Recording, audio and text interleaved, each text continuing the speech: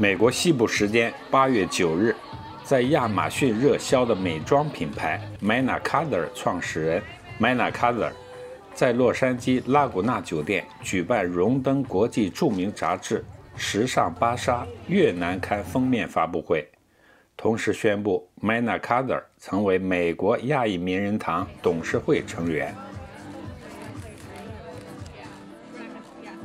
Yes, thank you all for coming today. Um, it's such a great honor to have you all. Uh, so, I'm so proud to announce that I'm on the cover of Harper's Bazaar Asia. So, it's such a great moment um, for girl power, for women in business, for the Asian American community to represent. Um, Asian Americans and being on the cover of Harper's Bazaar. Behind the brand, you know, it really is all about keeping beauty simplified Um, having beauty from the inside out and making beauty attainable for each and every one of us. Um, when you look good, you feel good, and really that's what the brand's all about.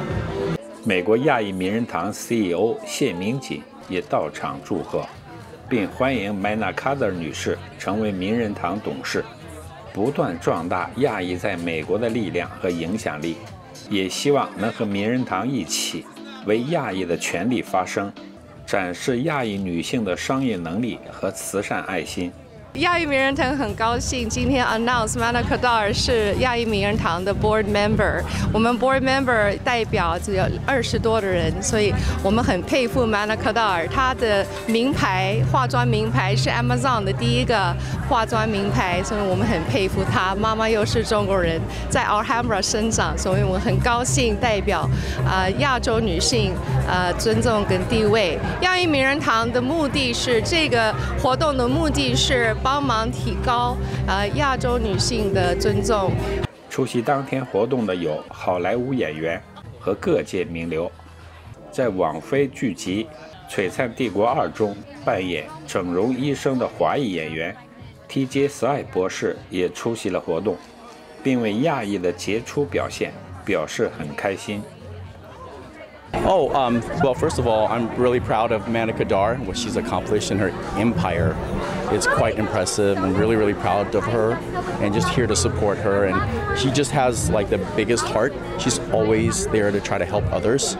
Even, even including myself, she's really tried to help me and like promote my business as well. So I really appreciate giving back and supporting her. Well, I think there's there's quite a bit, but there's also regular people too. Okay. There's uh, regular Asian folks. There's, uh, and but that's just a small segment of uh, the Asian culture and population. But it's but at least it's being represented in the American society, and people are seeing uh, other other people on TV that's representing all Asians. Manna Carter 也致力于社会的慈善事业。 不仅承诺将年度利润的百分之十回馈给当地社区和全球慈善机构，而且当天的活动还将部分收益用于支持 Manna Carter 的孩子们的奇迹项目。活动现场的任何人都可以通过 Coin Up 应用程式来捐赠他们的数字零钱，来做慈善，帮助需要帮助的儿童们。上课。对。